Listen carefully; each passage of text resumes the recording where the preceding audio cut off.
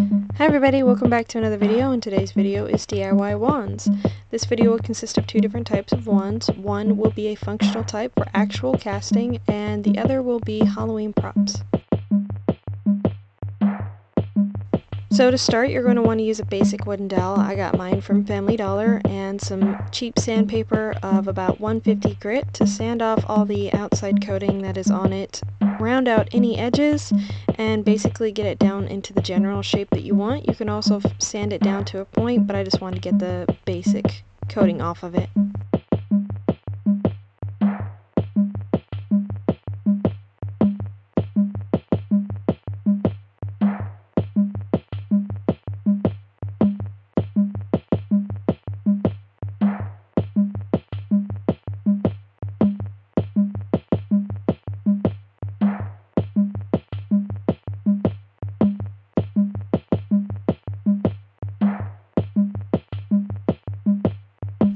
Taking the wooden dowels that you've now sanded, choosing two different sizes for me, I chose the largest in the pack and a medium size from the pack, sanded it all out and brought down the edges, and made it to where the glue will actually stick. Then start hot gluing on your design. This one I went with a almost Harry Potter vibe, but I wanted it to be super super cheesy like some of them you find over at a dollar store. And that's what I ended up doing with a lot of the hot glue just adding on more and more and more until it looked about right.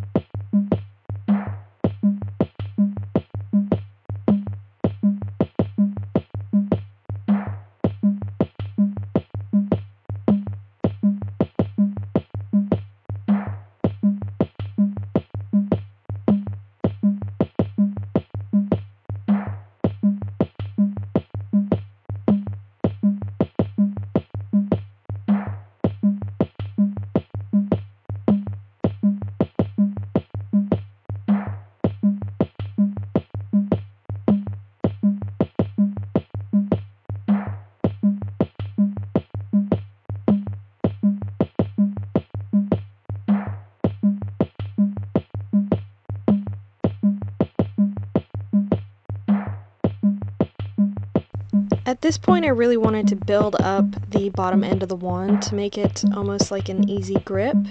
If you don't want to build up the bottom end of the wand, you can also add on a wrist strap if you would like using the hot glue and some ribbon or rope.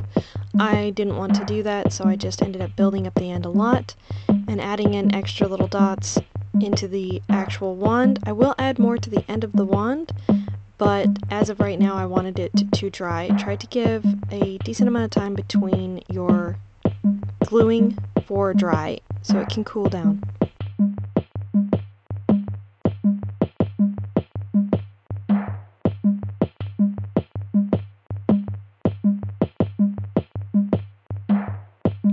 Once you've got your desired look down and the glue has had time to dry, go ahead and start painting it. I added a little extra off camera to the handle of the wand so that I had a better grip on it and I gave it more of a swirly look. And then I painted it pink with black handle and gold glitter. Taking the larger of the two wooden dowels that you've sanded and a knife of some kind, I just use a box cutter and very carefully whittle at the end that you want. You can whittle this down to a fine point, as you will see, or you can whittle it down just enough so you can sand it out and smooth it out to a round tip, but I really enjoyed the point. I did use the same grit sandpaper all the way through for every wand on this. It's all 150 grit. Next, carve out a small niche in the bottom of the wand to add on any extra wiring or you can feed some lace through there but I just carved it just enough for some floral wire, taking a pair of needle nose pliers to make sure that the wire is set into the niche nice and smoothly. Add on some extra glue at the bottom when you're ready, and then start winding up the wire. You can get a longer piece and wind it down twice, or you can add on an extra bit of wire at the top, but I really like the way that this one turned out with the way the wire looks.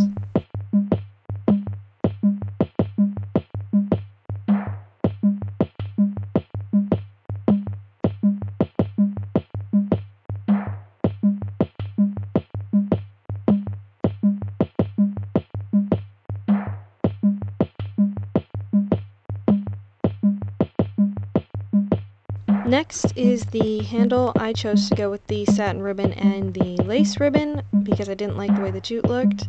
And I ended up not wrapping the satin quite right because of a big gap on the bottom. I tried to cover it, but it still didn't turn out quite right, and I'm not very happy with the way the handle turned out. But when you go to do the handle, make sure that you glue it to where it covers up the whole bottom, and then wrap it up to about the length of the hand that you're going to be using it for. Then hot glue it down, making sure that you've melted the end so it doesn't fray, and add on any extra lace for any decoration or covering up any flaws.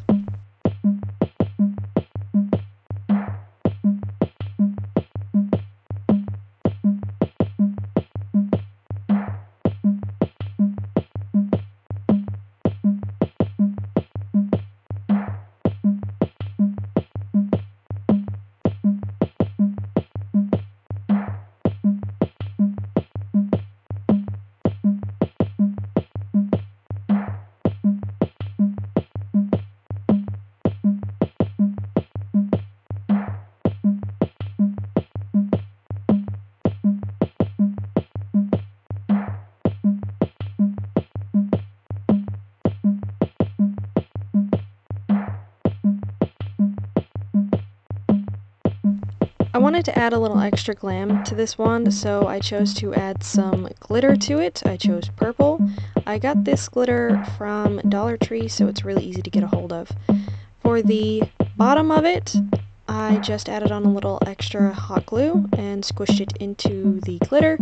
For the top end of it, as you will see, I pulled out some Mod Podge, rolled it on the end of the wand so that it had a nice decent coating, and then rolled the end of the wand into the glitter so that it would have a really pretty glittery look.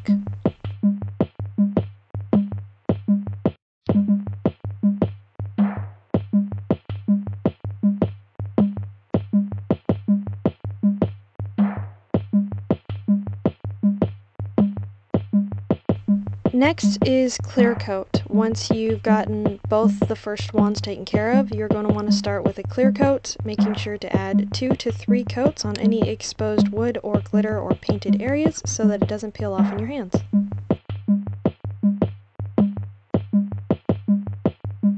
Next is the actual functioning wands. I decided that I would just use a small branch that was kind of just a really funny shape with a really big knot in it. Then you're going to want to either whittle off all the bark or a certain amount. I just chose a certain amount because I really love the way the green bark looked. Sanding the whole thing so that it's very easy to paint or clear coat over the top of it and then rounding out the end so it's a little bit smoother and it doesn't peel apart after clear coat. A neat trick I learned when I was making wands was that if you put a sponge or something underneath it like that, it allows the wand to sit further into the sandpaper and it gets a way better sanding on it and you can sand around tighter edges. Next, taking floral wire if you want to add any extra design to it. I chose a gold floral wire because it doesn't rust away. And then I fed it into the small crack that was naturally in the wood, wrapped it around, and then took the end, twisted it into a small loop, and made sure that it wouldn't come loose, adding a little extra glue to be extra certain, and then added on a charm.